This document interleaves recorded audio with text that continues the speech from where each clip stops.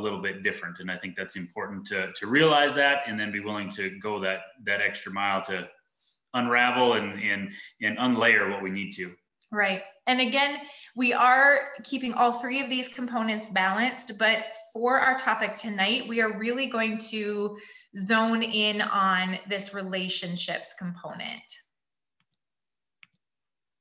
All right, so when we're talking about balancing relationships, Joshua and I kind of broke these down into three separate categories. And we're going to rapid fire go through this because we really want to get to your questions and make sure that we have enough time for that at the end. So we are going to speed through this, but if you have some clarification questions or something doesn't really make sense, again, make sure that you reach out to Trish or to us a little bit later and we can help clarify.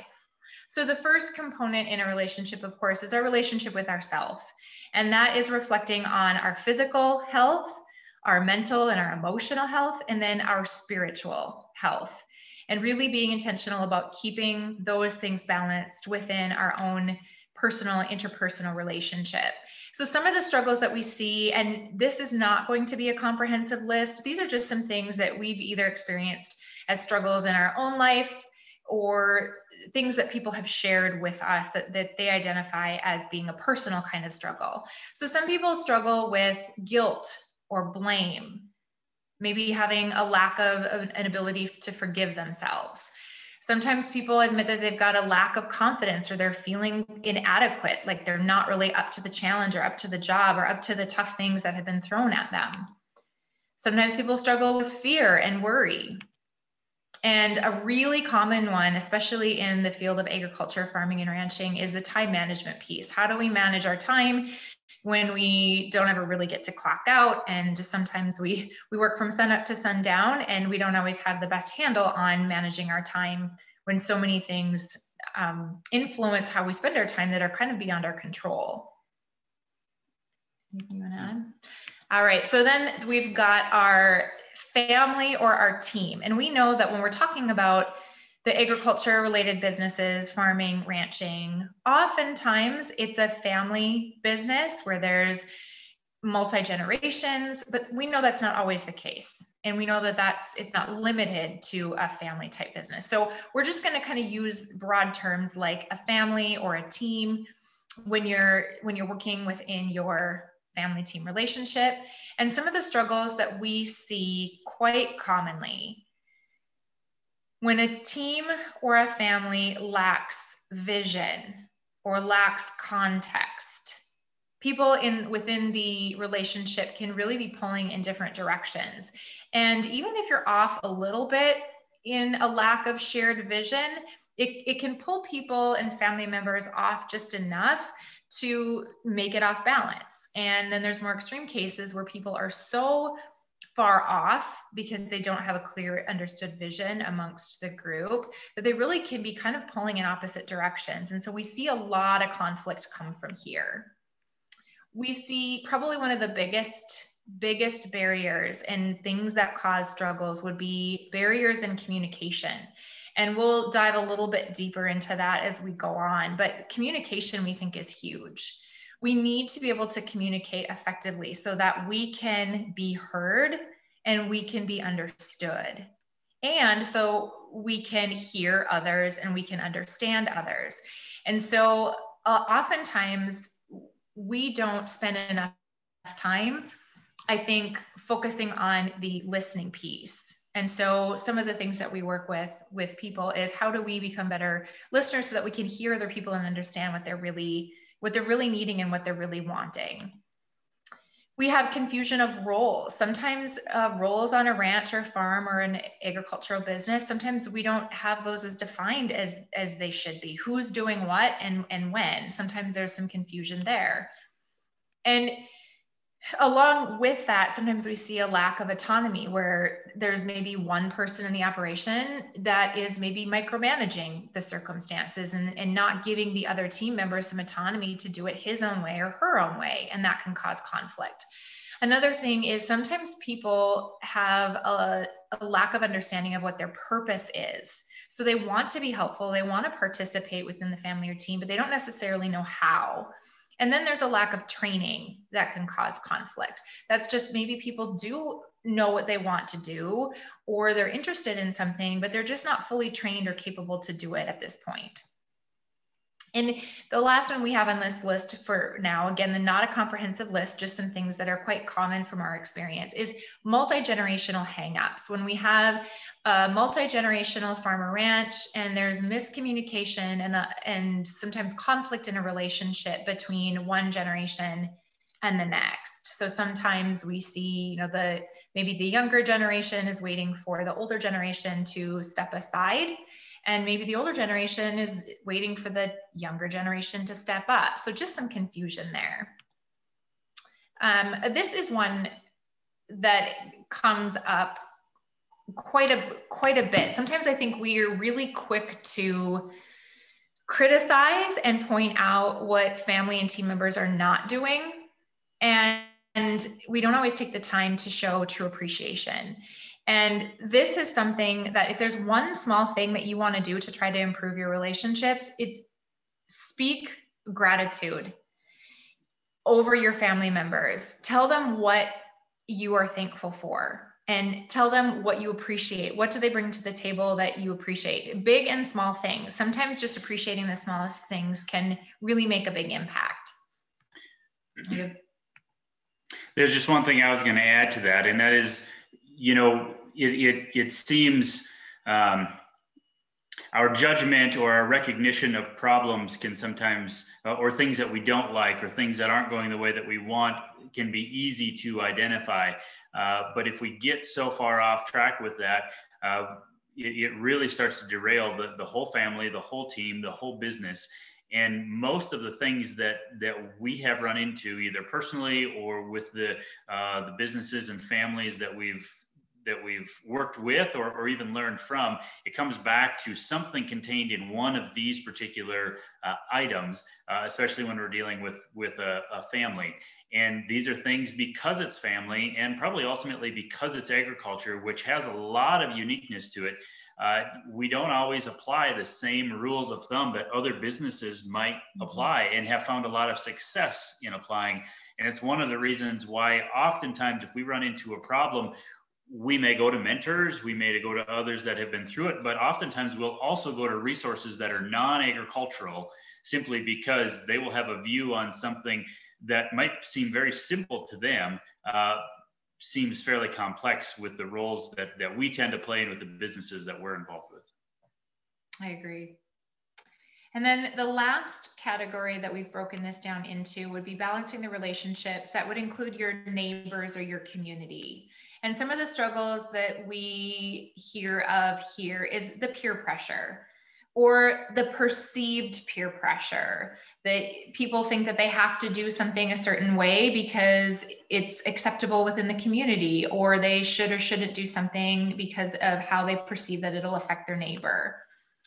Gossip you know oftentimes um, assumptions can be made and and it, it might be true and it might not but when we engage in gossiping about community members or about neighbors as you can imagine a lot of problems can arise just because of that. The competition sometimes it's people perceive that that there is competition in in one person doing something a certain way versus another and acceptance the reason we added acceptance to this list is it's honestly a, a, a bit of a, a two-way street. You know, acceptance can be a, a positive thing from the standpoint that that we can accept other people and that they might operate their farms and ranches differently their enterprises might be differently how they they time things during the year all of those things um, can be uh, things that we accept that they're going to hopefully make the best decisions for them and we respect that and then hopefully they can also respect that we're going to try and make the best decisions for our own family and our own operation. But where we run into trouble with acceptance has to do when something happens just real gradually just little bit by little bit and if it's in the wrong direction we don't necessarily always recognize it or it's got to get pretty bad uh, before we say, how did that happen? Where did that come from? Uh, how, how did we not see this? Well, when it happens in really small increments, we don't notice it until it's bad enough to where it really catches our attention. So the acceptance piece, whether that's uh, accepting soil erosion and degradation, or whether that's uh, a financial situation that's slowly degrading, or, or probably worst of them all, a, a social or relationship type situation that's degrading, uh, it's one of those things that if that if we can recognize early and, and there's some other symptoms that might come with that uh, we have a much better chance of of steering that back on track and, and getting moving in the right direction okay now before we go any further we have mentioned this before, but the reason that we named our ranch what we did was after this Matthew 6:33 Bible verse. So this is something that has become very very meaningful to us. This Bible verse and the naming of our ranch because we personally have found that in our relationship struggles we do much better when we give it to God and when we seek Him first. And when we get into the Bible and we, we read the words and we are encouraged and we're uplifted. This is not because we have all the answers, but because we work to serve a God who does have all the answers. Now, I know that not everybody has the same kind of relationship with Jesus that we do. If that is something that you are interested in learning more about, connect with us afterward and we will help get you connected. But this is something that's really become pivotal in our focus for the way that we manage our ranch is working to put God first and working to really ask questions and and put things in perspective and, and help us seek solutions rather than just whine and complain about our problems. Okay, so that being said, as we navigate these tough things that we're about to talk about, we believe, our personal belief is that it's less about having the right answers and it's more about asking the right questions. And we'll give some examples of how we navigate that. And for us, ultimately, we have learned how to submit to God's will. We've had challenges in our own life and in uh, things seemed like they were going to break us, I think, at the time. And learning to submit to God's will really helped us shift our perspective and move in a direction that we really desired to go. I think asking the right questions is really the only way that we can ultimately get to the right answers for our given situation. Oftentimes, uh, and, and, and maybe other people have, many have had this experience as well, but when you just keep jumping from to the next answer, the next answer, the next answer, hoping that the next one is going to be the right one and that it will make all the difference in the world for any given situation, we we run the risk of not exploring the things that we needed to explore not opening the doors that we needed to, to open by asking questions. And so the power for us and, and, in our experience has been uh, asking questions or, or helping others try and ask questions. And it's not that we have all the right questions, but just simply that willingness to, to seek and, and keep seeking, ask and keep asking. Uh, eventually uh, starts to lead us down a, a, path that maybe we didn't even see to begin with. And quite honestly, the, the risk in asking the wrong question is far less than jumping on what we think is the right answer uh, if we don't have all of the background and, and didn't ask the right questions in the first place. Yeah, and I think ultimately it's just given us a lot of peace and it's allowed us to be very humble. We know that taking care of God's creation and caring for the land, for the soil, for animals, for our family members, it's a really, really complex thing. And so we really have felt a, a, lot of peace and a lot of humbleness in being able to do it. Okay, so what questions should we be asking? These are just our suggestions. Of course, you're going to come up with some of your own questions, but if you're not really sure where to go, this might hopefully get you kind of on the on the right on the right track or take some of the first steps. So a question I really like to ask myself is if I'm finding that there's something that is unbalanced or that I want to complain about maybe or am, am experiencing frustration or some kind of negative feeling about my circumstance. A good question that I really like to start with is Is this exactly how I want it right now?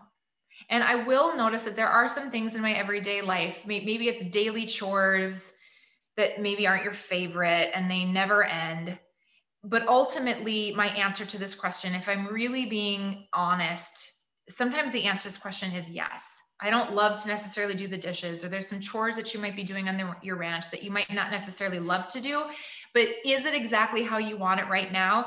Maybe the answer is yes, because it means that you are called to do something greater. If you're washing dishes, you're you're thankful that you have a family to feed and you have food to feed which gives you the need to wash dishes. If you've got you know outside chores it's because you're feeding animals and you're choosing that kind of lifestyle. So sometimes even though you don't like it you can kind of just give yourself some peace of mind knowing that yes this is exactly how i want it right now. I've chosen this.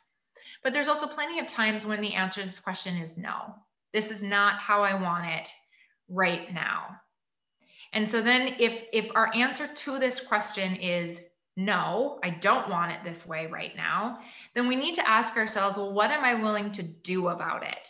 Because whining and complaining and, and pandering and that's not going to serve anything. It's not going to help. So the, the next step after you identify, no, this isn't how I want it.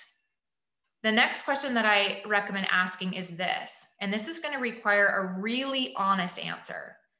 Am I interested in making a change. If I don't like something, how it's how it's going right now, if I don't like it, if I don't like it, how it is right now, am I interested in making a change or am I committed to making a change? And they're completely different. There are some things that I'm interested in doing, but I'm not committed. And it's only the things that we decide to be committed to that we will actually be able to change. So if you're navigating a difficult relationship or you're struggling with some kind of tough thing and you recognize that you want to make a change, first you need to ask yourself, am I just interested? Would it be nice if there was a change or am I committed to making a change happen? I think it's really it's it's it's a really this is like the fork in the road in the in the decision making process. This is this is where you either say, well, that would be nice, but I am not going to put in the effort, the energy, or the commitment to it, and that's kind of the end of it.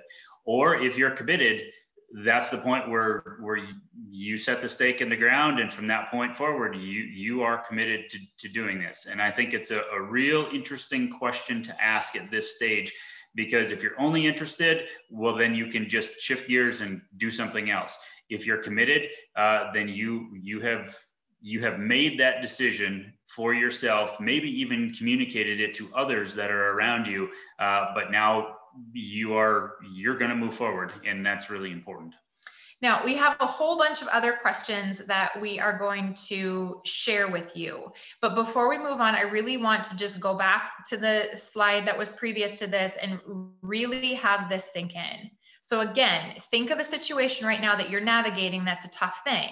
Ask yourself, is this exactly how I want it right now?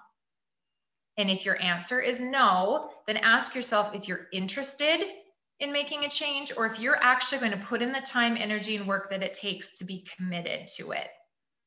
Okay, now the next questions, these some of these will apply to your situation and some of them may not apply, but we're just going to kind of again quickly go through some of these and you can reflect more deeply on the ones that you see fit.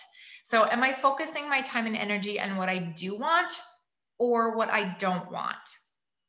And again, be really honest with your answers. Am I in charge of my emotions or are my emotions in charge of me? And a follow up question to that is Am I reacting logically or emotionally? I think we notice that in our society, things have become so emotionally based.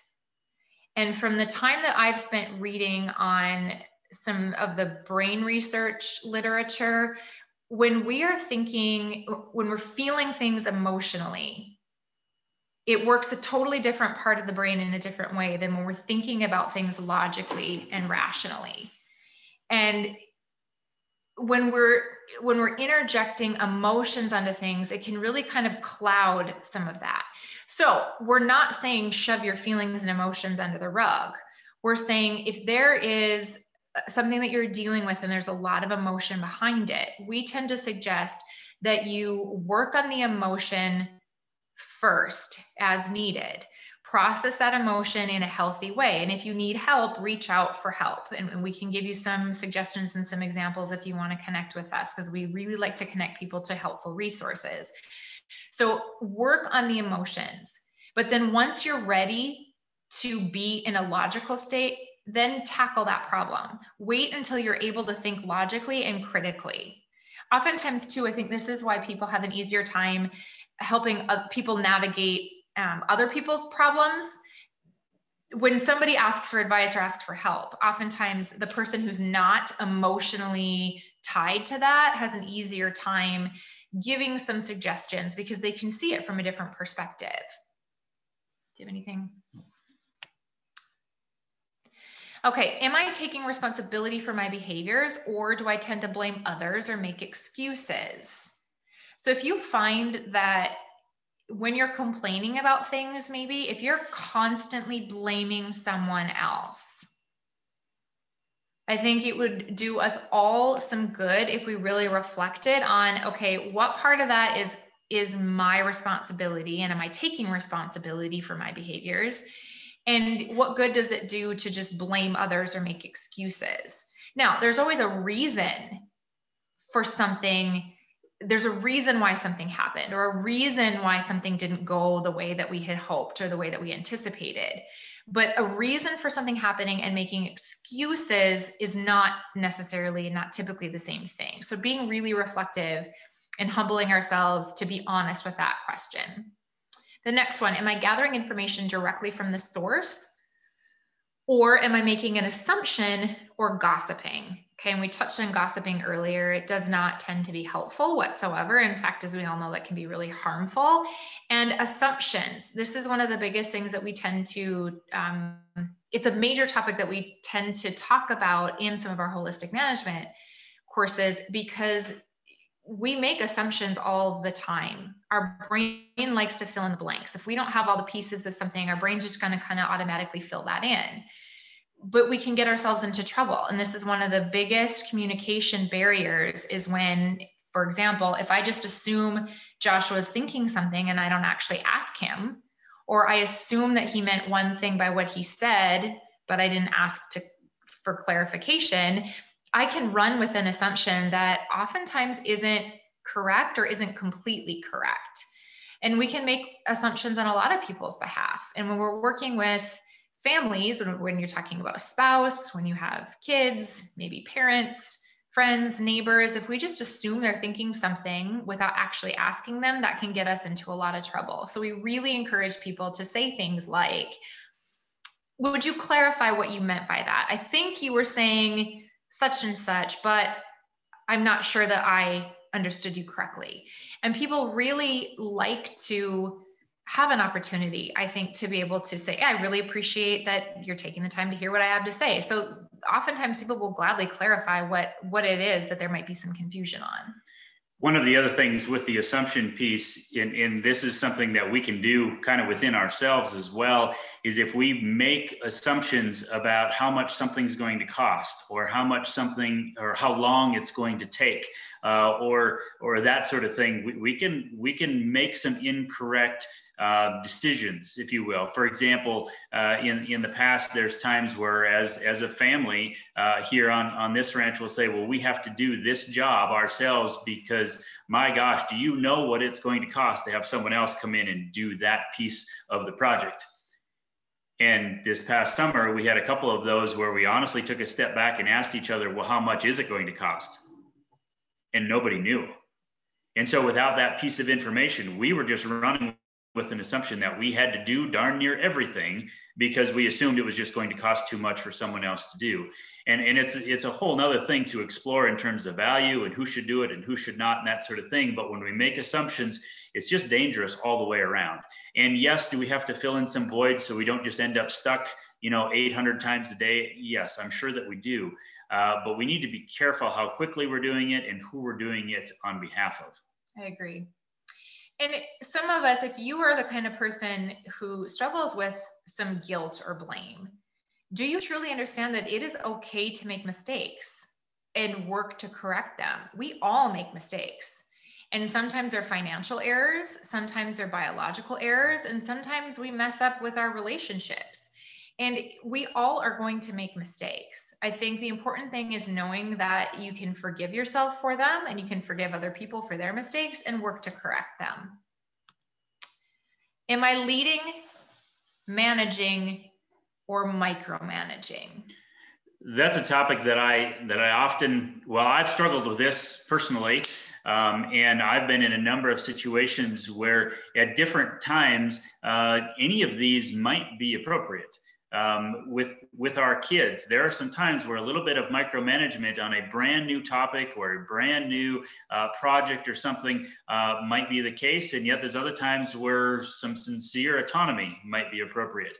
There's also the idea that that you know we can manage and we can manage and we can manage uh, meaning we can be moving the cows and we can be you know having the right genetics and we can be practicing good grazing management. We can do all those things, but if we don't have the leadership component out front of that to pull all these pieces together, oftentimes we can manage something to death and it and it doesn't do us any good because there wasn't the leadership component to be out in front. So asking just the question, is this a scenario where I need to be leading or I need to be managing or, or maybe am I actually micromanaging and don't need to? The second one then says, Am I being effective or am I just being efficient with my time and resources? Uh, for anybody who's ever had a to-do list, which I suspect that most everybody has, uh, maybe maybe multiple to-do lists or a to-do list that never quite completely gets everything crossed off of it, and so then it just continues from one day to the next, one week to the next. And the whole idea, well, if I could just get more done, if I could just get more things done in a day, just get more things done in a week. Well, if you could actually get more things done in a week and you did get more efficient, what do you do with your extra time? Do you spend it on the things that you really would like to, or does it just get filled up with the next thing and the next urgency and the next fire that needs to be put out and those sorts of things? So, the whole idea that taking a step back and trying to ask yourself, am I actually being effective or am I just doing a lot of things? Yes, I might be getting them done quickly, but am I doing the right things? And then the last question on this one here, it says, just because I can do it, should I do it? Okay, just because this is something I can put on my list, should it actually go on my list? Or is there someone else that I can offer this opportunity to? Is there someone else that I can pay to do it? Is there someone else or or some other business or company or or do I even need to do it at all? Maybe maybe that's the question that needs to be asked. But just because we can do it and we tend to be pretty self-sufficient people in agriculture, a lot of times we will just take it on. And that can at some point get overwhelming because there's too many things that yes, we could do them. We are capable of doing them. We have the skills, the abilities, or or we have the drive to learn how to do it if we don't know how to do it currently doesn't necessarily mean we should do it. So I think that question becomes important. The next one I've that, that we listed on here is is this whole idea, and I know that some people, uh, we probably all know some people who like a good debate and are willing to argue and argue and argue uh, as as much as I mean that that's just something they really like to do. And then we also know people on the other end of the spectrum that they will just avoid conflict at all costs and they will not engage. And guess what? The opinions of both of those people are important because they're opinions of those people. Now, we may disagree, but the second part of that is this idea that we can disagree and do so respectfully. That's actually a good thing. And so, do we know how to respectfully disagree with someone's opinion, meaning that we're not afraid to ask for it in the first place, simply because we think, well, I'm not going to even ask because I know we're not going to agree? Well then we haven't developed the skills or the processing skills in conversation to be able to do that. And then the next one says do i have the conviction to share my own opinion respectfully? Your opinion matters. And you might be the only one in the world that actually thinks that but you're not going to know unless you actually offer it. And because your opinion matters our opinion with conviction without being arrogant without being judgmental and continue on this path of, of being respectful and then, and then the last one, am I able to separate person from behavior, knowing that a person's worth is not necessarily tied up in how they acted one particular time or how they uh, acted or words that they said in one particular uh, situation or scenario. And therefore, can we actually separate the person uh, from the behavior? And that's been a huge item for us in terms of being able to process what happened in, in a given scenario or a given situation in the past. And then the last one that we added here, on um, is, is where am I drawing my fuel and my strength? And I think uh, what that says to me, or what I'm trying to communicate through this particular statement, is well, years ago, I'll just give you a personal example. Years and years ago, uh, my tank was fueled up when I got positive feedback from people. The downside to that is what happens when I got negative feedback. It also drains your tank. And quite honestly, you can have 10 people fill up your tank if you were Josh Dukart, and you can have one person cause it to drain. And that one person could do just as much damage as those 10 people did good. And so this whole idea that if that if you rely on other people to fuel you, and then you also let them, uh, you know, even if it's unintentional, take you back down, then your strength becomes this roller coaster, and your ability to ride through these situations. And we all know there's challenging situations, especially in agriculture, that if that's how we decide whether we're successful or not, or whether we have value or not, is relying on other people, we're setting ourselves up into a pretty risky situation. And it wasn't until uh, Tara and I started viewing things more from the standpoint. We had mentors to help us with this, but realizing that our self worth came from our value in, in God's eyes. Uh, not so much in other people's eyes, and therefore that's where our strength came from. Now, does that mean that we don't need supporting people around us. That's not the case at all. We need people like that. We need groups. We need support. We need feedback. And that that feed criticism, or it might come back as you know something real positive, but that we can use both, and that we are stronger because of it. That's why we like to ask this particular question. And, and this one's a little bit of a deep one, and it's a it's a very personal personal one, and and maybe causes us to be a bit vulnerable. Uh, but honestly, if we can work our way through these questions that we've just talked about and others that, that we didn't put on this list, it gives us a better chance that we've asked the right questions. Okay, so before we get to the questions that have come in from you, this is kind of a recap for us, a little bit of a summary. So for us in navigating the tough stuff, we choose to pray for divine influence. Again, we don't have all the answers, but we work to serve a God who does. And so that divine influence has been incredibly huge for us. So we also want to ask and keep asking. We want to ask questions and keep digging deeper, going deeper and deeper until we find the root cause of the problem. And a lot of the questions that we just talked about, hopefully, that can trigger some things for you that kind of help getting you moved in the right direction so that you can get to your root cause of what you're navigating. We want to use critical thinking skills. There's a lot of things that are happening, I think, in current events that um, just doesn't seem to make sense so, just with everything that you're doing, really think critically. And a big part of thinking critically is making sure that you're not letting emotion bleed into a situation where you should be able to think logically. So, being able to separate logic from emotions, deal with your emotions in a very healthy way, and then go back to that critical thinking skills and look at things logically and definitely bring in some outside help to help you look at it from from somebody else's perspective. The next one differentiate leadership from management.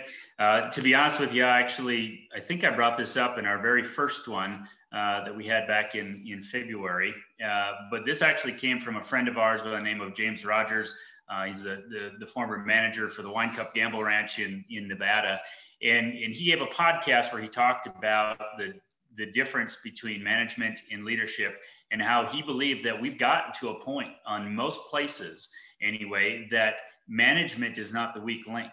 The, the management is there. The understanding of, of grazing tools and, and of livestock um, and although there's plenty more to learn about soils and, and that sort of thing uh, the basic management items are there what management needs in order to get it off the ground and moving in the right direction is leadership. And, and what I'm talking about there is, is the decision making uh, that comes from deciding which management and when in order to adapt to a particular place. And it, and it, it's probably a little bit more complex than this, but one of the things that we talk about with our kids is, is just their, um, they need to think for themselves but then they also need to own the benefits or the consequences that come from those decisions. And I think oftentimes we might lose that very simple uh, approach. Uh, I, I, know there's days when I do uh, lose that simple view or, or approach on decision making is that if we truly want the benefits uh, and the empowerment from our decisions, uh, we can have that. But we're also going to have some consequences and some mistakes along the way. But as Tara pointed out, uh, we can work to correct those. Leadership is what spots those. Leadership is what corrects those. Management's what we actually do on a day-to-day basis. And the last one, seek alternative options. Don't be afraid to try something new. Again, sometimes it might work and sometimes it might not, but seek alternative options find some people who can help you reach out to great resources like the grazing lands coalition and some mentors there just try something new. If what you're doing isn't working and you're committed to making a change try some new things. Okay. I think we'll we'll pop this up but trish if you want to ask some of the questions that you have. We'll we'll certainly do our best to answer as many questions as as we can get to, and and of course uh, uh, answer them as we as, best we can given our circumstances, knowing that we haven't necessarily experienced all of what you might have on your minds. Um, but uh, fire away, Trish. Okay. Um, the first question that I have that came in was How do I, as a young person that wants to come back to the farmer ranch, convince the older generation that I can't do things the same way that they did to make a living? well, I, I, would say that that's that's honestly pretty common. Uh, that's that's not something that's out in, in left field, and the whole idea there, and, one of the approaches that we that we took um, with with this one is well, Tara brought it up earlier when we talked about gratitude. First of all, we need to lay a foundation of understanding that what the previous generation did was not, um, they did what they were, were fit to do, what they saw was fit to do. And I think there's a lot of respect that should go towards them making it through their generation in building what they built. And so the idea that it shouldn't start with what you're going to do different it should start with what you really appreciate and respect about what they did first. And that might even go back more than one generation. That might go back a couple generations. You know, if you think about what some of the previous generations did and some of the big changes uh, that they made and some of the risks that they took, um, there's a lot, I think, to be appreciative of that. But if you can build that type of relationship and that kind of respect, offering that kind of, of gratitude and appreciation, I think that, and, and do it genuinely, not not not just not just with uh, lip service, but but genuinely. Then all of a sudden, the conversation I think can eventually roll into here are some ideas that I have. Ask their opinion uh, about what they think about those ideas, but be ready to support uh, what you want to do and why, why you think it's important. And I think one of the things that could enter into that conversation that could be beneficial is talking about how just because I want to do something different, and Tara and I have, have gone through this part of it, there are some things that we wanted to change in, in thought we very much needed to change on this particular place. It was not because my parents or my grandparents did it wrong it's because there have been some things that have changed, whether it's markets or the landscape or, or input costs or, or what skills and interests and passions we have versus what the previous generation had or what we see as opportunities. All of those things come into play. But I think before we just jump into that, we, we need to really touch on what value is already there and has been built Otherwise, we would might not even have this opportunity uh, in the first place. Okay, thank you. Um, another one that we had come in is we are a conventional ag operation, and I, as the ranch wife, am completely stressed out. I don't want my husband to know, so I keep it to myself. Um, I don't know what to do or who to go to. What would you suggest? You know, what I've really noticed, um, my background is professionally is in education. And I just naturally was really interested in health. And so early in my career, when I would attend a lot of workshops, I attended a lot of health workshops and education workshops. And I found that the health workshops were primarily women. And meanwhile, Joshua was going to agricultural workshops. And I perceived then, if you would agree, that it was mostly men. Mostly, not, mostly, not all, not, but mostly. Definitely but the majority was men. And I've seen, and some of you can maybe you've seen something different, but I have found that every time, like as the years go on, the agricultural community meetings, I mean, the events that the Grazing Lands Coalition puts on and different county events and seminars, there are so many more women. And I think that that's phenomenal that that women are becoming so much more involved in agriculture. And, and I think to a certain extent, women always have been, but there's more women showing up to these things. So just getting connected in these kinds of mentoring network groups, I think it's wonderful for women to connect with other women and couples to connect with other couples and families to connect with other families. And there's going to be some commonalities and there's definitely going to be some differences but i think the commonalities can can be great because you have something obviously in common that you can discuss but where there's differences you know you can pick someone else's brain somebody who's looking at something from an outside perspective. But i just think i mean definitely get connected with the grazing lands coalition you can get connected with us and we'll put you in touch with with some other women and some other family families that have navigated some similar paths and maybe they're just a few steps you know beyond um, and can can give some advice. So i think yeah i mean get connected. You're not alone in that. Definitely not alone. I know when when we first moved to the ranch i struggled with with what my place was. And um yeah it was it was great for me to have my own mentors. And so yeah i guess that's i would say reach out find find some mentorship and know that you're not alone in that Okay, thank you. Um, another question. I'm trying to get set up to take over my parents' operation. My dad keeps undermining what I do. What would you recommend? I'll tackle that one. Um, you know, th- th- this is something. Speaking at workshops and teaching schools, th- this is another one that's that's pretty common, and it comes from the standpoint that that like you just mentioned in the question someone's trying to try trying to do something new it might even be small scale uh, but because something has been done a certain way for for a certain length of time and and in many cases has seen success seen success doing it that other way uh, the way it's been done for some time uh, you I can't really fault that person for saying, "Hey, I'm just gonna I'm just gonna continue to do it this way and not let you fail."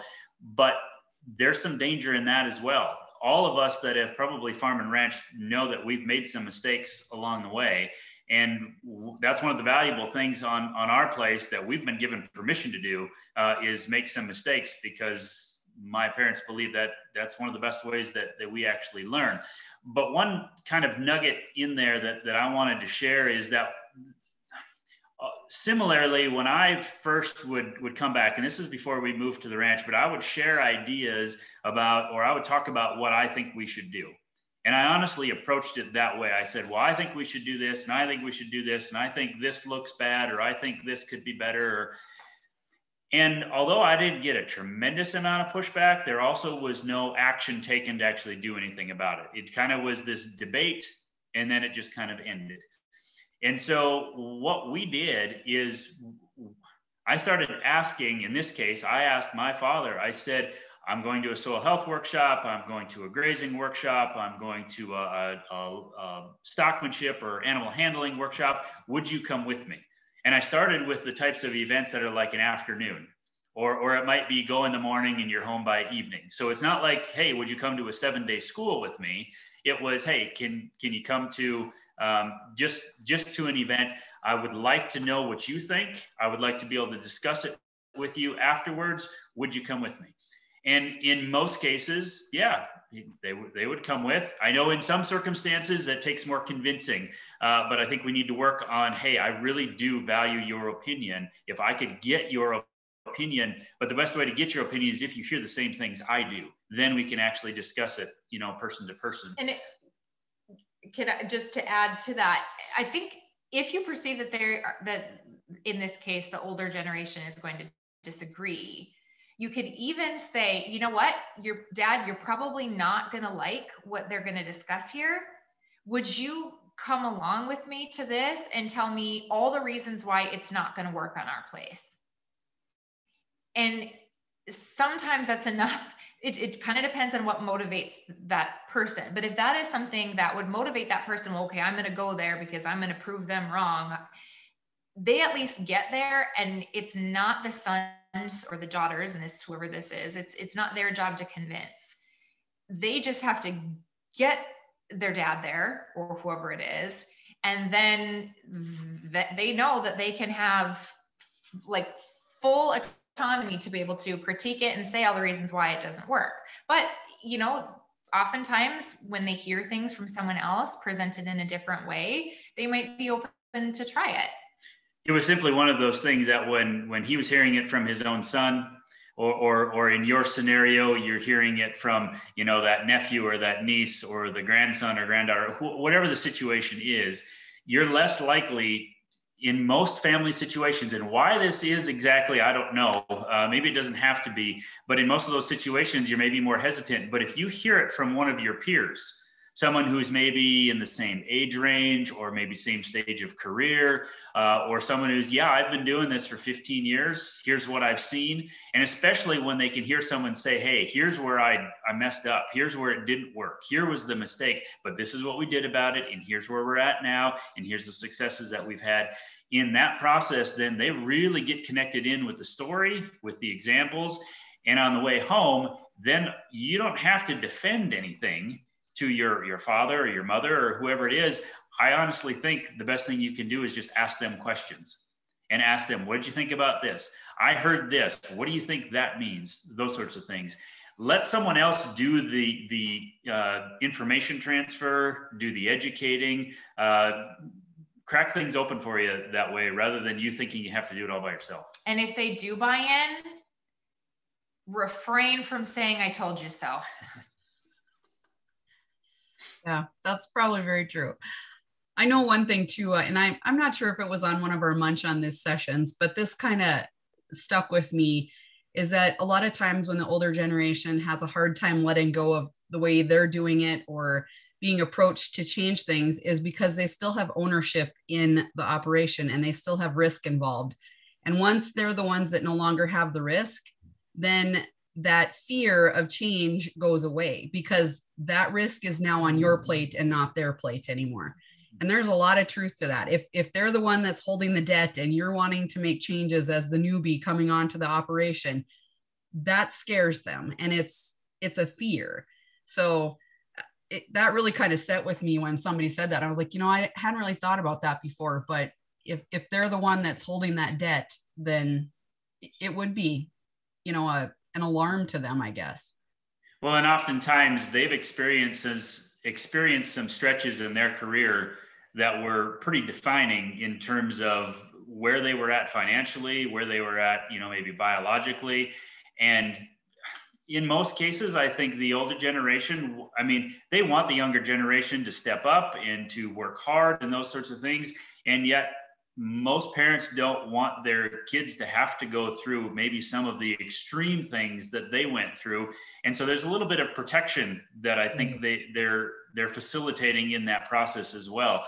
Uh, but i think i think there can you can meet in the middle on, on, on quite a few of those things but it's going to take a little bit of a process. Yeah. And again i just want to reiterate i think you know, oftentimes you have an entrepreneur who's trying to hand something down to another entrepreneur. And when you've got strong personalities like that, I think really, really start with genuine gratitude. I wanted to clarify that. When we're talking about gratitude, it needs to be genuine. It's people see through flattery. Yeah, false flattery. Right. So it you need to really find things that you really appreciate and that you really respect and don't be afraid to say it. I think those are the things that sometimes we just don't take the time to do. You know how much we appreciate other people in our lives and what they've done before us and the struggles that they've gone through. Just having those things acknowledged can really really hold a lot of credibility. A lot of times it's something that we think but we just don't speak it. And, and we need to make sure that we speak it um, speaking about youth, uh, the next question pertains to that. Um, we need to keep youth involved in agriculture. How do I encourage my kids to become part of our operation when I know that they've seen our struggles? Yeah. Um, I'll start with that one anyway. You know, one, one of the, and, and again, it's not that, that we have it all right, but I, when I was a kid, I, I saw my parents' struggles and and of course the younger i was the less i understood the magnitude. But it doesn't take a, a, child to be very old to be able to recognize facial expressions. And when someone's under stress or when someone's upset or distant or whatever it is. And i can remember seeing those things. And of course now i hear or or in years past i've heard the stories of what exactly happened during those times. And i actually very much appreciate when the struggles got shared with me. Because the unknown was far worse and the hiding was far worse. Now, keep in mind that depending on the age of the child or the young adult or whatever it is, there may be some things uh, that need to be kind of, it needs to be appropriate. Shared obviously. without being burdensome. Yes. And I think that's that's a good way to put it. You know, we, we want to, to share so we know the reality of it.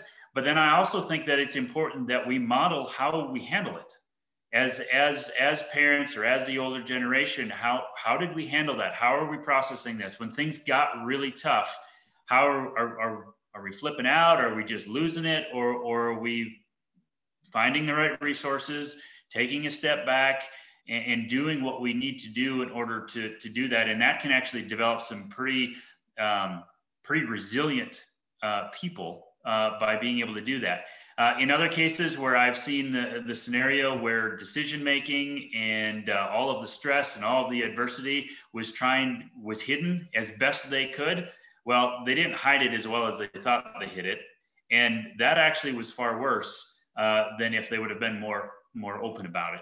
And so I think that that as uh, um, no farmer ranch is perfect. And, and I made the mistake, honestly, the, before we ever moved to the ranch, uh, when I was thinking, boy, I wonder if I could get my wife interested in ever being a part of a, a ranching scenario. I tried to sugarcoat things and I tried to only show the good stuff. And I did that. And half the time it backfired on me. And, and then I had to then I had to play catch up trying to explain something. And if I had just been real about what I knew, what little I knew about farming and ranching at the time, I think it it would have been far better. And eventually we were able to communicate that and work that out. But um, it, it took some time and, and just sharing and communicating was really important. Yeah, I a couple of things that I just want to add to that. I do think we model how we handle stress and how we handle our, our reactions to things. We model that for our kids. And so when things don't go our way, they watch to see how we react. And if we can show them that this is not what we wanted, but we can deal with it and we can still work toward finding some solutions you're modeling that for your kids. And that is a gift i think that is it's priceless. The other thing that i think children are natural learners and they are naturally inquisitive. Children, if you've ever been around them, you know that they're constantly asking questions. They want to know how things work. And so I think it's been a huge asset for us to be able to raise kids on this ranch because the questions that they ask helps us shift our own paradigms so you know yeah why why are we doing this and, and why is that animal behaving that way and why are our soils looking like this and kids noticing those kinds of things i mean they tend to be fascinated with nature and they tend to be fascinated with watching things grow and and seeing things um, just yeah progress. So I, I think that if we just capture kids' natural ability to learn and their fascination with nature i think a ranch is one of i'm just so thankful that we have an opportunity to have our kids here and we try to invite the city and the town kids out to our place so they can experience it as well because they have great questions and and it's been helpful for us. So i think that mutual beneficial um, mutually beneficial relationship of however many generations you have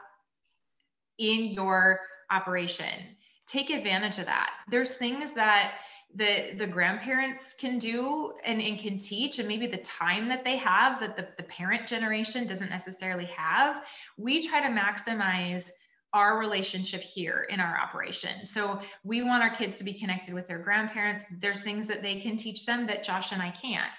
And there's things that you know that are that his parents enjoy and my parents too but the grandparent generation enjoys of the grandkids. So we've really worked hard to be to make it a mutually beneficial circumstance. Right. Um, this is kind of twist or changing the the topic quite a bit, but um, I have a rancher friend that always seems to be down in the dumps, and everything they talk about is negative. How do I balance between being there for them as a friend, but at the same time keeping my own mental health moving in a positive direction? Yeah, I'll start with this one. So I do think that it is really good to set boundaries and understand that there is a line that should be drawn between where where help can be offered and where it becomes burdensome on your own mental health. And so I think and, and that line is going to be drawn a little bit differently for each different person and each different relationship. But I think it is very wise and healthy for the person who's on the more helping end to to set some kind of a boundary and check in on that person definitely offer encouragement. But like joshua brought up earlier if if people are if okay so if, if i myself is expecting other people to fill my bucket i need encourage i mean constant encouragement for other people to fill my bucket you know some one person can say the wrong thing and then like that whole bucket just gets emptied. So i mean that person ultimately should be referred on to some additional help. And you know we love it when people reach out to us and here's why. We don't always have the answer and we're not always like the end person. But when people reach out to us we're usually able to because people have shared resources with us and they've been phenomenal we like to then get person whoever whoever comes to us we like to get them connected to the next person that would be of of help. And so maybe that person really truly needs some kind of mental health therapy or some you know emotional health therapy. Maybe you know they need some some physical kind of encouragement. I mean it really depends on what that person needs. But for the the friend who wants to be there for their friend i think be there to the level that does not become burdensome for you. Um, recommend something. I mean, you can even, like I said, bring them to us and then we'll get them connected to the next person. Um, and and pray. I think the biggest thing that we can do is pray over that person and pray for guidance that that you give advice that's helpful and beneficial so they ultimately get the true help that they need so that you're actually seeking solutions for that person not just masking symptoms by allowing that person to continue to complain and walk and complain and whine and complain and whine and complain and whine. They're not helping themselves and they're not helping you. I think it's important too to understand the context of the situation. Is it a is it a, an acute type thing or is it a chronic type thing? Uh, if it's a chronic type thing, I think these boundaries are really important uh, because then we're also probably should be asking the question, you know, what can I do to empower this person? But where where am I possibly enabling this person? And and I think that becomes a, question that needs to be asked so you can determine how to use your time. Obviously, if someone is in a situation where they're down in the dumps because of something very specific that happened or maybe just happened recently and therefore it's an acute type situation, then I think that's a little different. And and you to, to be able to be there for them and to support them and help them, uh, I, I think most all of us would would do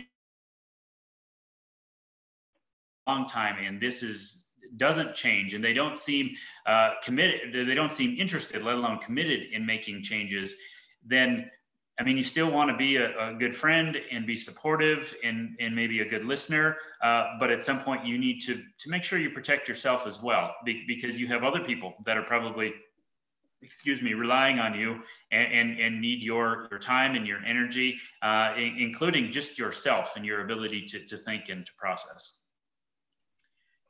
Um, the next question is kind of on a different topic. Um, there are improvements that we'd like to make uh, to our ranch but we don't know where to start. Our budget doesn't allow for us to just go and install all of those practices on our own.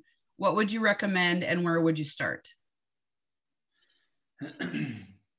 well, I think it's it's it's good to first of all understand where your financial situation is. I've seen I've seen some operations where they got so gung ho about these different practices, whether it's grazing management or it's cropping or or, or whatever whatever conservation or regenerative ag practice it might be and and they just went in and just all at once and, and did some things uh, put in some infrastructure and maybe weren't ready for the learning curve that came with it or maybe couldn't handle it financially or maybe didn't do it in an order that was appropriate. And so they ran into a little bit of trouble that way. So taking a, a step back and doing some analysis about where is the weakest link in all of this? Because on most of our operations we probably have big dreams about what we want this place to look like 5 10 20 years down the road. But we also know that we're not going to just jump 20 years down the road in one or two years with a whole bunch of, of infrastructure enterprises et cetera.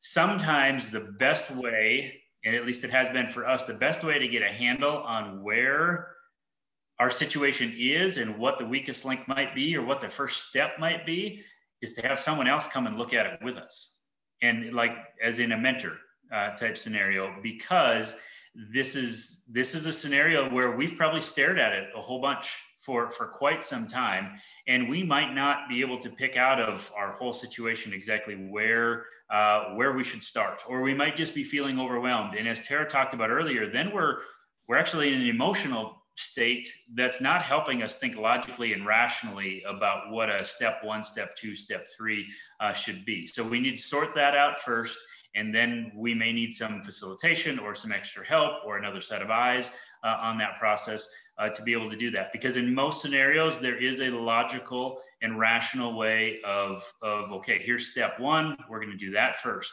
Once that's done, then we can actually implement maybe steps two and three together at, at the same time. And all the while, we can handle the learning curve uh, that comes with it.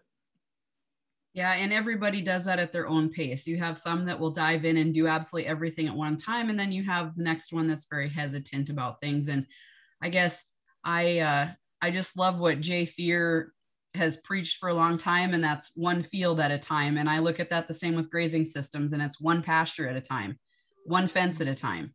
You know, whatever that might be and and just make sure that you are that you're comfortable with you know how you're going about doing that and and there are plenty of resources out there um you know through multiple organizations agencies that are available for you know the financial assistance and um, are more than willing to to work with the ranchers and um, put these practices on the ground so it's it's well, nice to have them as partners Absolutely. And, and there was a piece of advice I was given several years ago after after seeing several different operations, and these operations had four, five, six, seven different enterprises.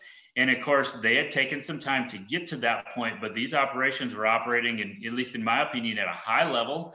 They had multiple generations, multiple people involved. And I looked at that and I was simultaneously as excited as I had been about agriculture in a long time and defeated at the same time. And I asked the question, I said, How do I even do this? Where do I start? How do I get to, how do I do all this? And that mentor told me, he said, You don't. And I, I was confused at first. I'm like, what do you mean? You, here I'm so excited, and you tell me not to do this. He said, no, Josh. He's like, you will burn yourself out and you won't be able to. And he said, I don't know. He said, maybe you got lots of money, but he said, you might burn yourself out financially in the process as well, if not mentally and emotionally. And he said, you find what your centerpiece enterprise is going to be. Or if you have an existing scenario, you find out what's working well first and you make sure that you're solid on those. And then you start maybe pulling the pieces away that are not working well uh, or changing them so they can work well. And you just take it layer by layer in the process and you don't try and do everything at once. Don't look at someone else's ranch and say that's exactly what i'm going to do. And the quicker i can get there the better because that could honestly be a recipe for disaster even if it's working well for that other place. Right um, well, I'm going to ask one more question, then I'll kind of touch base with you guys and see where we're at as far as time and, and how much more you want to go. But this one here is kind of applicable to the, the environmental conditions that we're facing right now. Um, if the drought we are experiencing continues, uh, what are your recommendations moving forward to help eliminate extra stress? Well, hopefully it just starts raining and then and then we can not have to talk about that so much. But I but I do think that there's some opportunity uh, in in our current environmental conditions with with this drought. Um, and of course, the the the first thing, if you if you've heard the the, the statement about when's the best time to plant a tree, well, it was 20 years ago, but the next best time is, of course, today. Uh, the same kind of with the situation with drought you know the time to be planning for drought and to put into place what you're what you're looking for what your what your thresholds are for making certain decisions and then what those decisions are going to be uh, that first of all probably should have been done months ago and done in a scenario or under a scenario where you were not stressed about drought already. You were thinking logically rationally uh, you're able to put those plans together to where when drought does happen, and, and it will, uh, but you have this plan in place to where now you just have to execute. And, and I'll be honest, I, I see his name up here, so I, he must be must be listening. But but Mr. Chad Nays, he's he's one of the first ones that I heard that from years ago. I was actually teaching the financial school, uh, but I had Chad and Amanda come in and speak. And one of the things that I think, well, it really caught my attention, but I was able to, to watch the, the audiences, the rest of the attendees as well, is when he talked about, he said, my drought plan was in place months ago. He said, so when we got to actual drought, which we know could happen, I just crossed one bridge at a time, executing the steps that we had outlined and adjusting as we needed to. And if I remember right, he, said, you know, it's honestly one of the easiest droughts that I've ever been through. And for someone to use the term, and, and, and I'm, and, and it's not that it wasn't still hard. It's not that drought isn't dynamic and, and complex and it's, it can be hurtful and all those things, but we do everything we can in order to put ourselves in the best position possible to be successful even in a drought and what he outlined that day uh, i thought really summed that that up well and and that's the process that that i know we have tried to adopt and, and others have well have as well so the first step is if you can do that even if it means you're going to do this now for next year uh, do you know make sure you do that but if you're in a situation now where drought's upon us you're starting to get stressed about it. Maybe that's to a fairly high level already. We need to be honest with ourselves that this is stressful.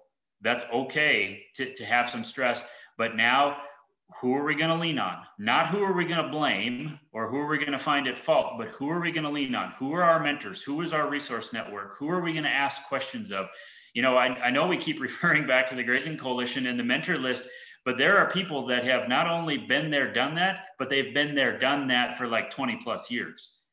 And so those resources are going to be invaluable in order to be able to step through any given scenario where people are at and what their maybe their first step can be, what their second step can be. And I know for me, if I had to take on so many of the challenges that we've seen, you know, by myself with no input and no second opinion, that would have been that much harder. But knowing that I had someone I could call or, or three or four people that I could call. Um, and, and, and, and one last piece about that that I wanted to say is, you know, some people are very hesitant to call and pester someone. They think they're being a burden to them. Right. And I had a mentor tell me just probably about two years ago when I told him, I said, well, I'm going to try and limit how many times I call you per month because I'm afraid that I'm taking up too much of your time. And he's like, well, I'll be very disappointed if you don't call. Now, yes, we're all busy, but I told him, I said, but I have no idea how I'm ever going to pay you back for what you are sharing with me. And he said, no, you won't ever be able to pay me back. And he said, that's not even the point. He said, this is a pay, mentorship is a pay it forward type of concept. he said, I am paying it forward to you because someone paid it forward to me once upon a time. And he said, Your only job within this is that you are going to pay it forward to someone else down the road. You don't look back to pay it back to someone, you pay it forward to the next person.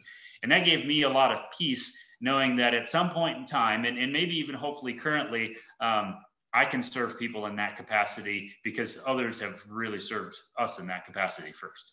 And I just want to add it, it takes the same amount of time to make those kind of phone calls, like the mentorship kind of phone calls, as it does to make the phone calls of commiseration.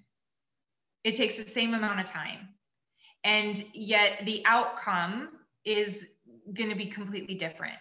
So taking the time, whereas instead of we kind of go to complaining about our circumstances or commiserating with other people about how bad it is, how dry it is, how awful it is, we can take that energy and just rechannel it into into these kind of mentorship things because ultimately it, is what it is so we can either complain or we can do something about it right it's very ironic that you uh, brought chad's name up because i was sitting here thinking the same exact thing you know Donnie and I here a couple of months ago, we were like, okay, the plan is in place. We may have to fine tune it. We may have to adjust a few things here and there. But I remember sitting in that class and exactly what, you know, he had said. And, you know, we, we were able to ride through things, you know, and, and we were still okay after we came out the other side of, of the drought for that year. And, uh, so anyway, um, are you, where are you guys at for time? Do you want more questions? I, I still have more, but it's up to you guys. We can take a couple more. Okay. Um, let me see here. Um, here's one that it's kind of a different topic we haven't brought up. Um, we're considering a new enterprise on our ranch. My husband wants to go uh, full on with it. I'm more apprehensive about starting something else. What would you recommend as our next step in our decision making process? a very open, genuine, honest conversation about why one wants to move forward full speed ahead and why one is hesitant to, to do it. And I, I would take a stab at um, they're probably making some assumptions on each other's behalf about why they want to do it. And they might be correct, uh, but they also might not have the full story as to why uh, one individual is hesitant and why one individual is just you know full throttle. And and someone might for example someone might say hey if this enterprise is going to bring us in some some more money and right now the money situation is not great on our ranch the sooner we get up to speed and go the sooner it is. Uh, while on the other side of it someone might say hey we are so stretched thin right now we can't hardly get the things done that we have on our plate and our family life is maybe not the way that we would like it we can't ever get away why do we want to add one more thing well, this is a scenario where that honest, genuine conversation needs to take place. And maybe there's a way to design this new enterprise, or maybe it's a different enterprise that actually can accommodate both of the concerns that, that are that are taking place uh, in that in that scenario. Uh, but to just add more one add one more thing to their plate, uh, or to just assume that this might you know fix our financial situation, um, that that's not deep enough and, and that's not enough analysis to, to really come out with a good chance of success. It's one of the things that i love having one of the reasons i love having a holistic context created is because when these opportunities come up or challenges or in this case a new enterprise we can refer back to the holistic context that we created together and we can say, okay, does this help us? Does this move us toward our quality of life goals or does it move us away from? And and again, you're still going to have to ask a lot of these questions that Josh mentioned, but having that kind of context where you have a you know an identified vision and a shared common vision between the husband and wife, between the family, between the operation, it, it kind of puts some parameters on some things so that it makes some of those questions a little bit easier to ask and a little bit easier to answer. They either meet your goals or they don't. And it might not be entirely black and white, but it serves as a really strong reference point that hopefully that holistic context was created at a time when people weren't highly emotional. Mm-hmm.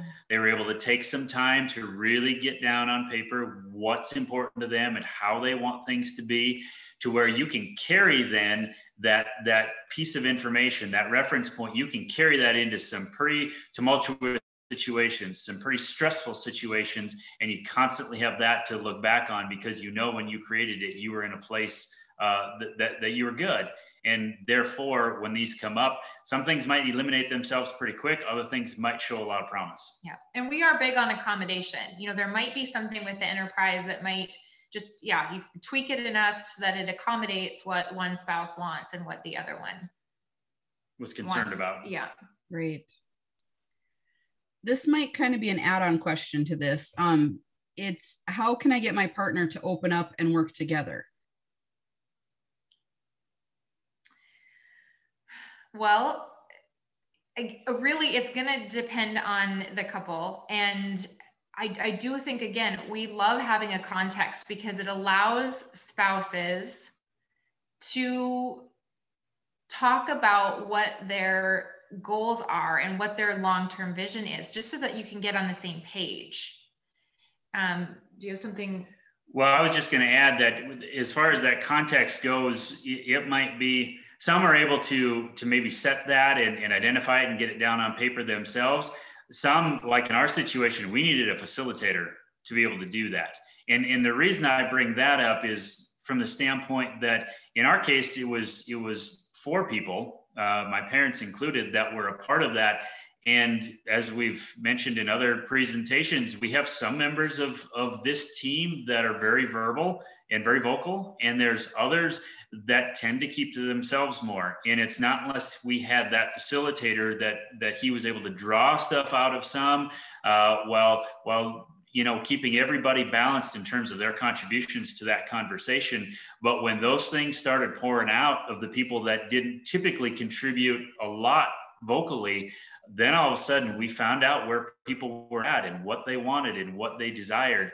And, and when we did that, then all of a sudden we understood each other better. We understood what drives this person versus what drives this person, what's what this individual is passionate about versus what someone else is passionate about. And once we learned more about those things, now this idea of, well, how do I get that person to open up? Well, understand what makes them tick and it took someone else on the outside to facilitate the conversation to start bringing that stuff out. And it was the context process that actually was basically just the format uh, in order for that conversation to, to occur. And therefore, then the questions that you can ask respectfully of each other to try and engage in those conversations to open up, as the question stated, um, it becomes more realistic that that can actually happen. And it might happen slowly, it might happen in stages, uh, but it's more important what direction we're going with that conversation uh, and, and that there's actually movement rather than just stagnation. What was the, that question again, Trish? Um, how do I get my partner to open up and work together? Yeah, I think making sure too, just to add on to what Josh said, really creating some safe space so that it's not confrontational. Um, there, there is a method of decision making, and we touch on it in some of our holistic management schools, depending on how much time we have. Um, but it's called the Edward de Bono. It's Edward de Bono. It, it's the six thinking hat you can there's a book on it there's trainings there's webinars there's there's lots of different resources and you can use that method a lot of different ways. But essentially what it does is it it assigns a color that represents different facilitation tools and a process. And so i'd highly recommend that process. Um, we probably don't have time to explain the whole thing now but the gist of it is blue represents facilitation white represents the facts Green represents the brainstorming. Yellow represents the, the pros or the advantages or the benefits of any given scenario. Black represents the disadvantages, the negatives, the cons. And then um, red, red is the emotional piece. Mm. And we love having, between the two of us, we love having common language for things. And when we have something that, that that we have meaning to. The red being emotion, like we've talked about before, sometimes there's the barriers come up in communication when one person gets too emotional or the conversation becomes too emotional. And so, you know, whether it's tempers that flare up or feelings get hurt or whatever that is, I mean, these are really big things and it can happen in, in communication and relationships between marriages, between different generations, parents and children. I mean, it's huge. And so being able to say something like, oh, there's some red hat here, we're having a conversation, all of a sudden it's gotten emotional. It's much easier and well received to say, I'm recognizing red hat. I think we need to stop this communication right now. Take a break. You can always come back to it later. But to use the phrase, I'm calling red hat, provokes a lot less defensiveness than does you know you calling out someone else and telling them that they're being something like irrational or you've lost your temper or you know some of those things that can kind of create that defensive reaction. So having i would really recommend looking that kind of strategy that method up um, because it it it gives some language that can be commonly used. Um, again, I know there's some, I've had some great conversations with Annie, who's listening too. She says that she, in their relationship, she tends to wear the yellow hat and her husband tends to wear the black hat. And in a way, that's great because they can balance each other out. But I think it's really good to stretch ourselves to have both of us looking at yellow hat together and both of us looking at the black hat together and both of us brainstorming together and just having that kind of you know freedom in your conversations um, so yeah i would recommend that as, as being a really good starting point for for couples and for families to have better facilitated conversations something that you can do on your own you touched on this just a little bit, but I had a question that came in on um, Facebook Live that I, I really want to ask you guys. Um, how do I encourage my spouse to give input on farm and ranch business or new farm enterprise? My wife is a big city girl and feels inadequate to give opinion. Well, I, I can comment first and then Tara can correct me, I suppose. Um, but, you know, when, when we first it's, it's a little bit of our scenario uh, to a certain extent. Tara, not you know, growing up on a farm and a ranch, and of course now we're moved back to the farm and ranch that I did grow up on. And when we first started doing things here, I mean, I just hit the ground running when we moved. And probably the hardest questions that she asked up front or or initially were why why, why do you do this? Why do you do that? And, and to tell you the truth, I didn't handle those particularly well early on. Uh, I was I was just sprinting from here to there and off off to the next thing. And what what do you mean why? Well, this is this is what we do. And and I, and I even honestly, genuinely thought, well, this is not how we did it, you know, necessarily when I was a kid. This is what I learned from my mentors and from working at the soil conservation and being a part of the grazing coalition. So I thought, why why should I have to explain myself? But long story short, her asking those why questions have shifted from being something that I thought was just taking up my time to being the very effective, powerful, um, and, and they were genuine. They, they weren't asked in, in sarcasm or those, it was like, I would like to know. I'm asking why because I don't know. I, I, I haven't been there. I haven't done that. And it was those questions that I couldn't ask, or excuse me, I couldn't answer that I really struggled with. And I needed to struggle with those. And some of those have facilitated change on our place. So the role that that she has has played, and of course, you know, you you you know Tara, she hasn't yeah, been bashful. I, I always share my opinion. But but now there's things that I ask for her opinion that I didn't ask for before because she's gonna her value uh, is a multitude of ways, but one of those ways is being able to come at it still kind of from an outside looking in perspective and from a, a, a standpoint of of uh, not the same, normal and usual, not how I grew up, those sorts of things. So there's a lot of value in having that type of um, question asking ability and that type of perspective right in your own home. I want to go back to the question, Trish, for clarification, it was in this case, the husband wanted the wife's opinion, but the wife doesn't tend to, to want to share. Yes, it was how do I encourage my spouse to give input on farm or ranch business or new farm enterprises? The wife is a big city girl and feels inadequate to give her opinion. Yeah, I think just offer encouragement. Make sure that you're letting her know that you do value her opinion And there is, I, know that if she's struggling with not thinking that she's credible to give her opinion, I would say the opposite. Oftentimes, like Josh mentioned, an outside perspective can actually ask some you know bigger questions than than somebody who's just been doing this their whole life and you don't really think twice about what you're doing or why you're doing it. So again if he's very very clear and intentional about saying i value your opinion and you can offer insight as an outside perspective and like you might have to pay for that you know? So she can offer it for, for free. So she's got you know skin in the game but at the same time she's seeing it with a with a very different set of of perception. I also think that just understanding the the reality of the situation is that's also something that that she probably is going to grow into. It's not going to be hey we're here at the farm now. Now we're going to you know operate as if we've been here for 20 years. Um, it, it's just one of those things that like tara said you offer encouragement you start building um, you know how that's going to look in those in, in, your operation and it'll look different than maybe a different operation. And i know tara had brought this up i think in our other um, the other virtual series was was just trying to figure out what her role was and what her place was and where she could start working on developing something that was going to be in her leadership wheelhouse and that all took time to, to do. And so i think just understanding expectations just asking for an opinion i think is good right off the bat. And and, and paying compliments and, and and just talking about how valuable that opinion is i think right off the bat is good.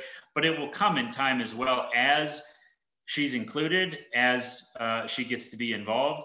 And as this isn't um, you know, a completely separate deal. We've seen a lot of operations, and there's nothing wrong with this if this is good with both uh, individuals, both spouses. Some it's it's it's he does his thing and she does her thing, and they are good with that. There are others that that's not. They they want to be side by side on a regular basis, or they want to have their specific roles, and some things are together and some things are separate. So just needing to find what that right balance and ratio of things is in any given relationship, I think is is important to understand. And, and that can be built and understood better through the context development. Yeah i mean i think there's a whole lot of i'd love to sit down and have dinner with this couple because i think there's a lot of other questions that probably come would would factor in. Mm-hmm. yeah what what is her current level of involvement? Does she want to be more involved but just doesn't know how or does she honestly not want to be involved but he wants her to be involved? You know so there's just one question is going to keep leading to other questions. And i think what we really love about our holistic management schools is we tend to do three day schools. And we started um, just we kind of did this and now it's become our tradition that the the evening of the second night we invite everyone to come out to dinner with us. And people can invite you know it's everyone on their own but people can invite other people. So like if one person is taking the school with us uh, they can invite their spouse or their neighbors or their friends anybody i mean it's we all just meet and we share a meal together. And we have some of these really great conversations and we can all kind of talk about some commonalities. And, and it's not because we have all the answers it's just that there's lots of other people there that have walked similar roads or have navigated similar paths or who you know can i i can't identify with somebody who does not freely give their opinion but there's somebody else you know who probably can speak better to that. And so we, we really love that. And sometimes even when we have the opportunity we try to share um, all of our evening meals together. And it's just so nice to be connected and have those kinds of conversations with other people.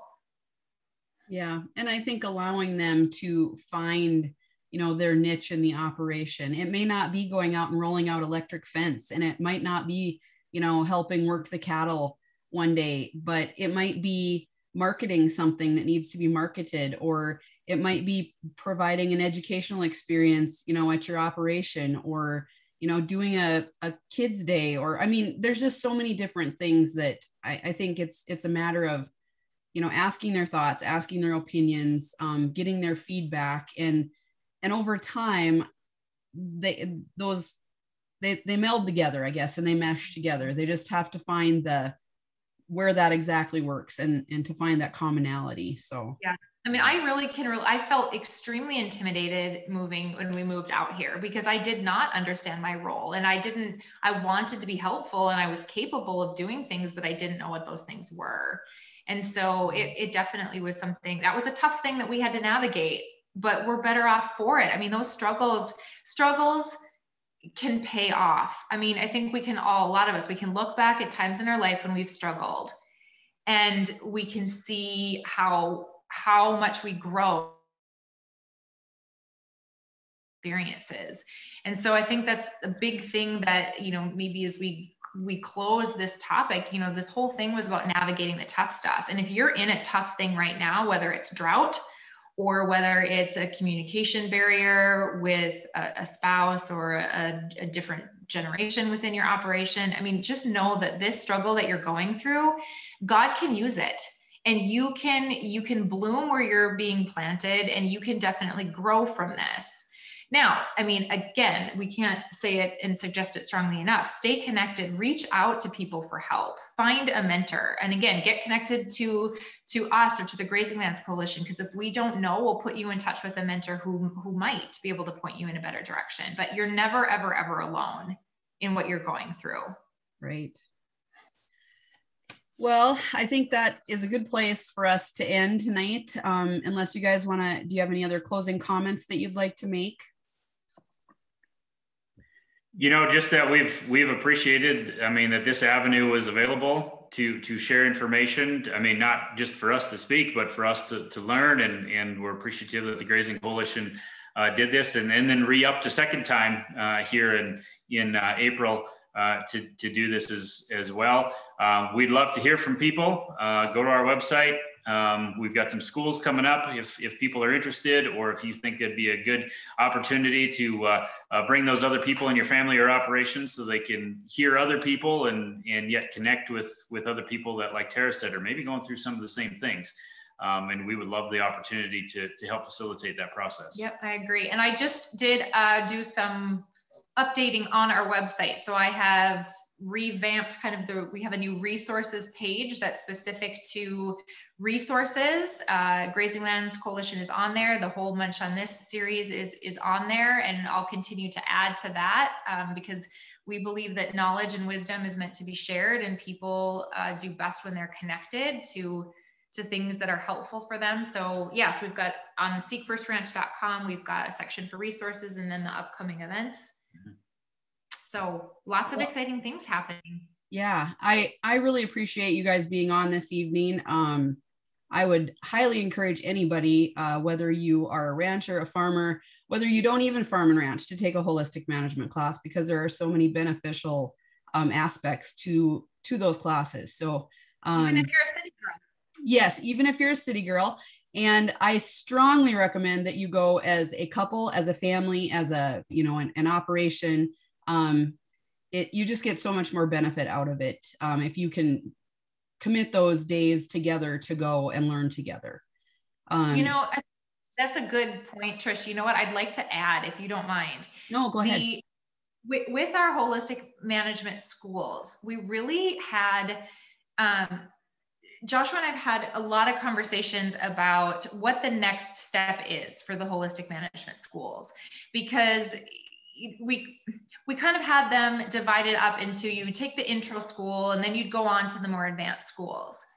And what we really have realized is that holistic management works the best when people are on the same page and they have a common vision and they have the common language. And so we've really kind of restructured our holistic management schools to where it invites people to continue to come back but to come back with the next person. So if you've taken it on your own before, come back and take it with your spouse. It's going to be new and different every single time. I mean, the structure of it is going to be the same, but we're going to have, it's always going to be a different experience because there's different conversations that we'll have. Um, so if you've gone before, come back with your spouse. Come back the next time with your father or your father in law or your mother, or your mother in law, or with your kids come back with your neighbors just invite other people. And so we really are we, we have this new kind of goal of continuing on with this community mindset.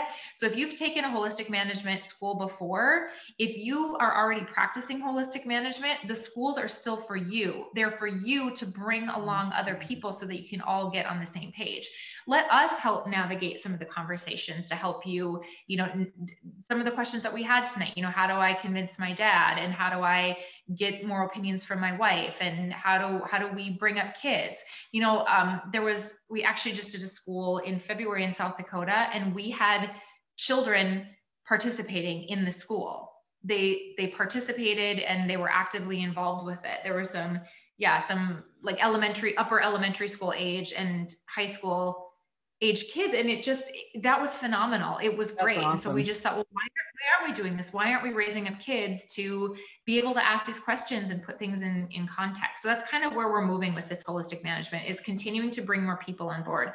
Get your older generation there. Get your younger generation there. This it's for everybody. Yeah, and I can vouch for that because I took the first class that I ever took was myself just out of college with Wayne Berry. And then after Donnie and I were married, we attended the class with you guys. And you just get something completely different out of it each time. And so I I totally understand where you're coming from. And it probably spurs us to even think about coming back to another one because I think you can always refresh your memory and there's always something that's changing. So um bring your kids. Yes, and bring the kids too. I think that's awesome that that the kids were involved and and uh encouraged to be there. So um, well, with that, I am going to cover a couple of things. Uh, we have some events coming up that we've finally got dates set for. Um, they're in person, so this is great. We're we're moving forward. Um, on June 24th, uh, the Grazing Lands Coalition will be hosting its summer tour, and that will be at Brad Sands at El- Ellendale. Um, so more details will be coming out. There'll be a save the date uh, postcard being uh, being mailed out here fairly soon. The other event right now that we have on the calendar is the Leopold tour. Um, that is also a grazing tour in conjunction with the Burleigh County SCD. And that is on August 19th. And that will be at the Dr. Jensen Ranch at Denhoff, North Dakota. Um, and I do think uh, Daryl had told me that um, we have a few, they, they lined up a few speakers, I think, to come into that as well. So um, more information will be coming out on that. Uh, the session tonight, as all with all the rest of them, have been recorded, and we will share that information on the Facebook page, YouTube channel, um, Grazing Lands Coalition website. Like I said earlier, if you have topics that you'd like to hear about um, next winter, um, please feel free to message me, email me, call, doesn't make any difference. Um, we'd love to hear from you. Uh, we've had a great response uh, as far as uh, people participating, um, people going back and asking for the recordings and and wanting to go back and listen to them when they have free time.